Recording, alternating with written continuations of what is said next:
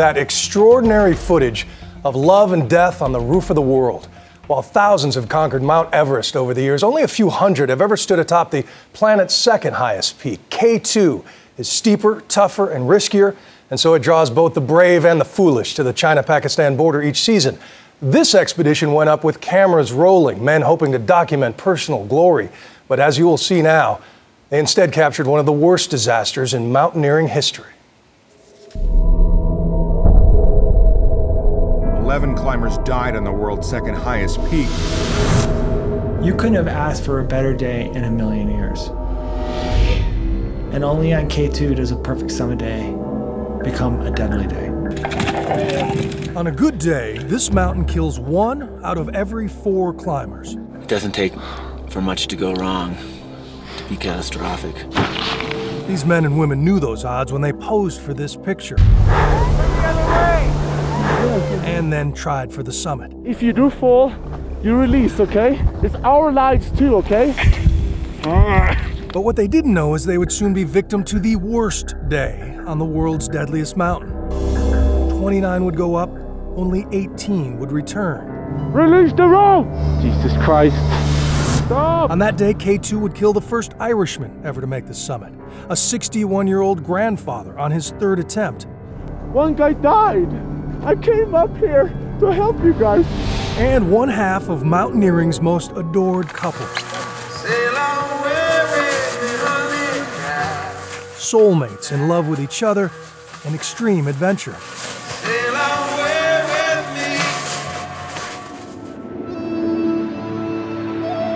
We are many from uh, US, we are from Nepal, uh, Australia, uh, it's many countries. They fly deep into northern Pakistan, and after hours in spine rattling jeeps and an eight day hike, they finally get their first glimpse in person. And just the sight of it fills their blood with excitement and dread. How's it look, Fred? Wow, and Frederick Strong was among the gaggle of mountaineering teams that converged on K2 two summers ago. tomorrow's gonna be a very tough day. The bottleneck looks scary. And camera rolling, he got to know the Koreans and Spaniards, Dutch and Nepalese, and American Eric Meyer, a dashing doctor and veteran climber from Colorado. Why I go and try and climb high peaks is that you learn things about yourself. You, you, you know, you deepen friendships. That's the joke. On this expedition, there is no deeper partnership than Cecilie Skog and Rolf Bae, married just a year. She's the first woman ever to climb the highest peaks on seven continents and had a hard time finding boyfriends who could keep up until she met Rolf. And he proposed as they skied to the North Pole. That's when he proposed. Yeah, yeah. Did he get down on one knee? he did with his uh, skis on. Cecilie and Rolf had tried K2 once before, but turned back in bad weather. And this time, even under blue skies, the mountain provides constant reminders of the risk. Jesus Christ. It's really dangerous. There's no safe way to get up through here. Um, um, um, Just outside of base camp, another reminder dozens of hammered tin memorials scattered with the remains of fallen climbers dashed to pieces. Sorry? He's standing close to a leg. Yeah. More down there. Sorry? There's more bo- body parts down there. Looks like it. I can't really tell. It is the grimmest possible warning, but it scares no one from the task at hand, testing their endurance on walls of ice and rock. How you feel? Tired. Yeah. Really tired. The air is so thin, oxygen so scarce, the brain fogs, and muscles chill. When you go up, your muscle tells you you need to breathe or Yeah. you have to stop. Exactly. They spend months on K2, acclimating to the altitude, waiting for the weather to clear, and finally, blue skies, no wind, time to summit.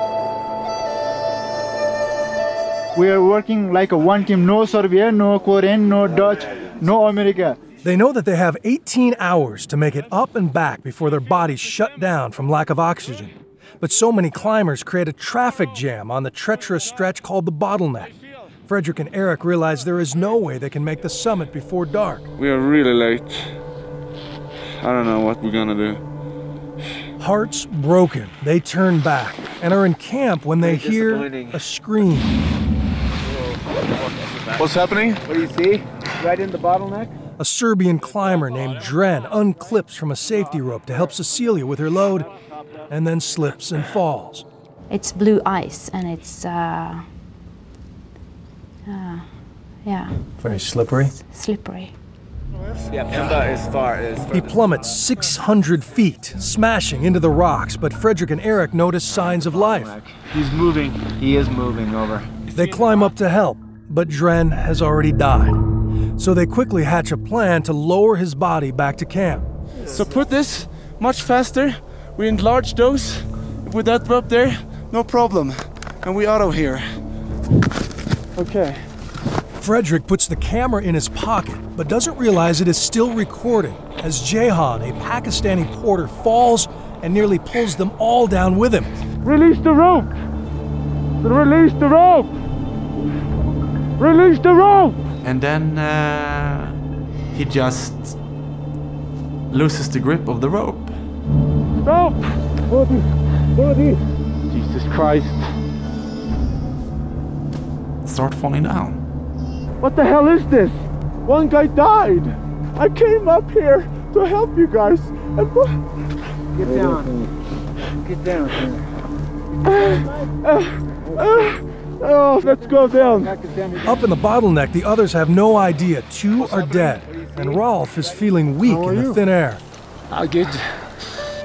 But not a great day today. A hard day for me today. They know that pressing on means a descent in the dark, a dangerous gamble. Still, they push until Rolf can go no further. So I gave him my oxygen and then I thought maybe he, then he would feel better. But he doesn't, and encourages his wife to go on without him. And she makes it, makes the summit with another Norwegian just before sunset. Oh, it was amazing.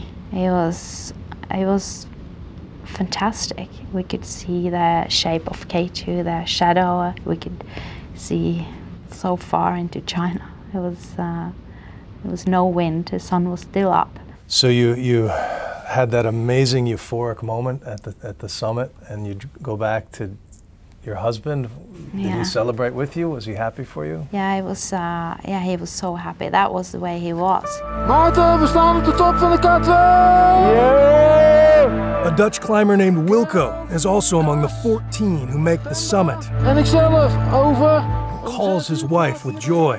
After a lifetime of dreaming and a year of training, they are all giddy. But it is almost dark, and they only have a few hours to get back to camp and precious oxygen. But first, they must rappel under a massive icy overhang called the Serac. And did you hear the ice break loose? I don't think I, I heard it, but uh, but I felt it. The falling ice sweeps her husband off the mountain and cuts their safety ropes back to camp. In a daze, Cecilie somehow picks her way down in the dark, holding out hope that Rolf has survived. Of course, he, he's gone to the tent. That he's in, in the tent. He's waiting for you at yeah, the camp. yeah. But uh, Is that when it hit you when you walked into the tent and he wasn't there? I don't know.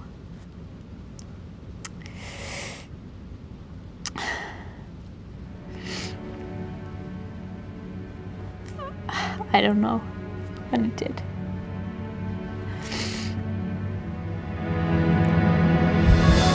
Three are now dead, but the drumbeat of tragedy is just beginning.